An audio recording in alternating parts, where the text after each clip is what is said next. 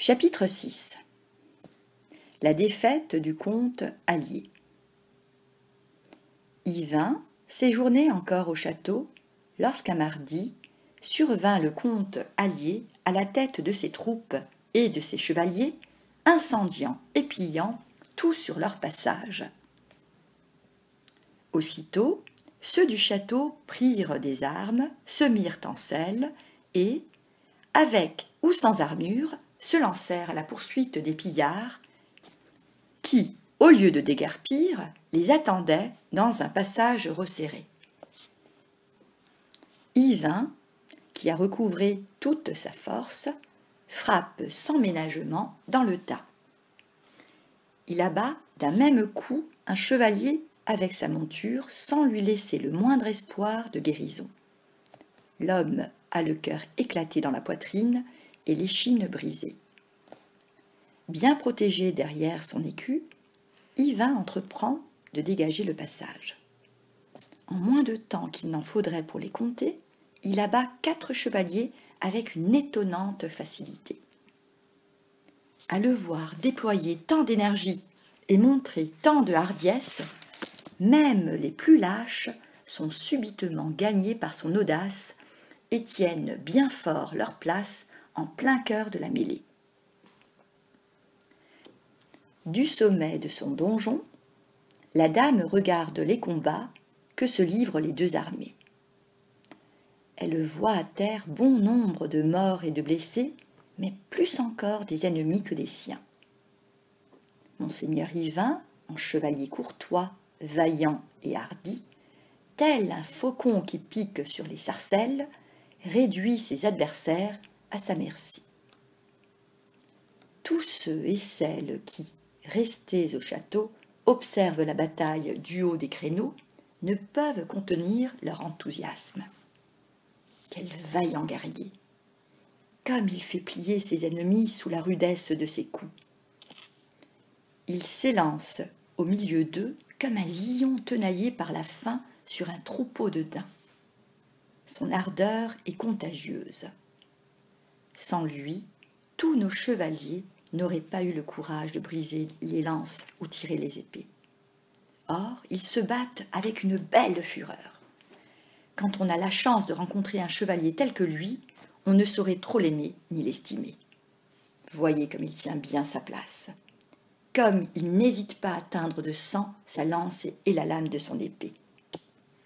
Voyez-le bousculer ses adversaires, fondre sur eux, puis faire faire demi-tour à son cheval pour reprendre son élan et revenir à l'assaut. Regardez comme il fait peu de cas de son écu qui est éclaté de toutes parts. La seule chose qui lui importe, visiblement, c'est de bien venger les coups qu'il a reçus. Il a brisé bien des lances et ne cesse d'en demander d'autres. Roland, avec Durandal, n'a pas fait, en Espagne ou à Roncevaux, un pareil massacre de Turcs. S'il avait quelques compagnons à sa hauteur, la déroute de nos ennemis serait totale. Bienheureuse la dame qui aurait gagné l'amour d'un tel chevalier, reconnaissable entre tous comme un cierge parmi les chandelles, la lune au milieu des étoiles ou le soleil à côté de la lune. Dieu veuille que ce soit la nôtre et qu'il gouverne notre pays. C'est en ces termes que tous font l'éloge divin, et à juste titre, car les ennemis prennent la fuite en débandade.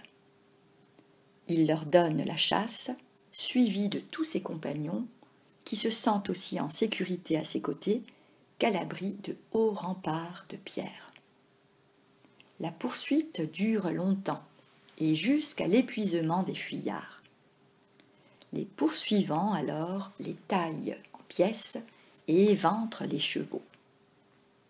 Les vivants roulent pêle-mêle par-dessus les morts, se blessent et s'entretuent dans leur chute.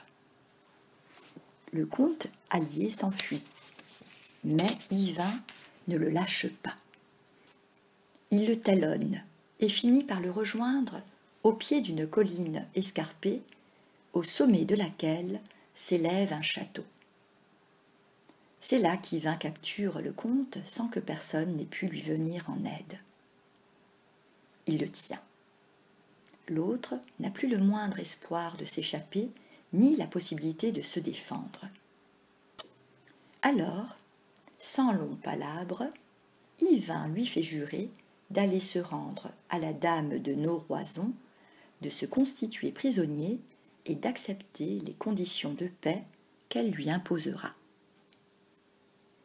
Quand le comte a donné sa parole, Yvain lui fait ôter son aume, enlever l'écu de son cou et lui prend son épée.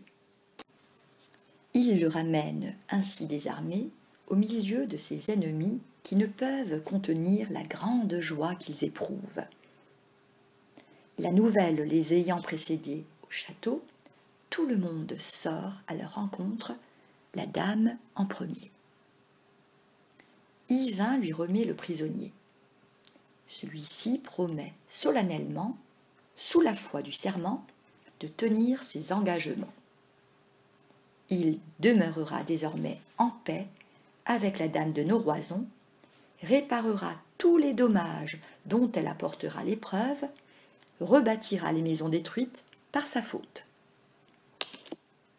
Une fois ces dispositions clairement établies comme l'exigeait la dame, Yvain lui demande congé. Elle préférerait qu'il consente à la prendre pour femme ou pour amie, mais toutes ses prières sont vaines. Il ne veut même pas qu'on l'accompagne ou qu'on lui fasse escorte et s'en va sans plus de cérémonie. Le voilà qui reprend le chemin par lequel il était venu, laissant derrière lui la dame d'autant plus affligée qu'il venait de la rendre heureuse. Elle aurait tant voulu le combler d'honneur ou de richesse en remerciement de son service, ou le faire seigneur de tous ses biens. Mais, insensible à toutes les supplications et à l'immense tristesse qu'il laisse derrière lui, le voilà reparti.